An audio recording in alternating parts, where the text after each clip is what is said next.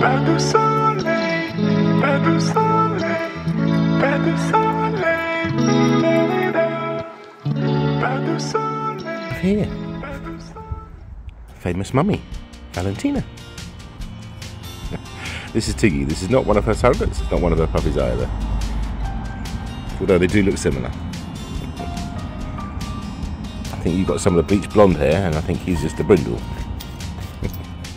but she's good with him. Aren't you? Hey? You don't have your food, don't you? You know what it's like to be a bummy, don't you? Hmm? That's a good girl. That's a good girl, Valentina. She's just so submissive. She really is.